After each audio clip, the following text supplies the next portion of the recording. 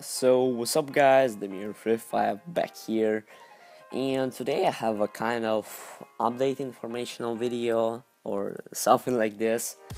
Uh, because one week ago I guess on Terraria forums there was a post by 505 games that um, they are actually starting to work uh, on the 1.2.4 updates for mobile and also 1.2.3 update. And this is freaking cool I would say because um, they said that they will do it like right after 1.3 launches out the PC versions and how we know it, it was out a couple days ago. So well as I think that they should be working on the update for mobile right now. And another cool thing is that they said that this update is coming out in the third quarter of 2015 and which basically means that we'll get this update uh, in September by latest. So we might get it in July, in August or in September. And this is really exciting because uh, let's have a look at the posts. Like they say this will include minecarts, fishing, everything else that will get mobile very up to date. So this means like frost moon events all this cool stuff some more blocks and yeah this is just insane i guess because this would be just awesome. We might get some some new weapons also like razor pine and that would be freaking cool you know? And this appears to be really soon.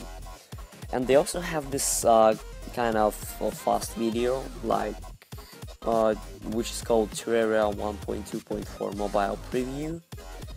And I guess that they are playing with the controller but let's have a look at it.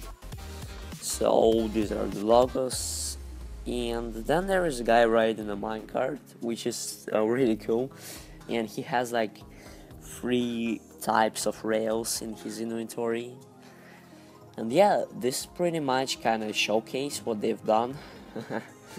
I wonder if they release a beta anytime because they haven't, but you know, for some of you guys that were beta testers of Minecraft, I don't know, this would be really cool if those guys make something like beta testing for Android maybe or for iOS, I have no idea, but yeah, this is what's happening, and I'm really, really excited about it because, well, if we look at the lot, at all the update history, I would say uh, Terraria with hard mode came not so, I would say, a long time ago, and um, this means that uh, the developers are working really hard and we might get more cooler updates soon. So this is pretty much it, all I wanted to say, if some of you guys hadn't known this, maybe you've seen it already, so just that just this informational video for those of you who don't know.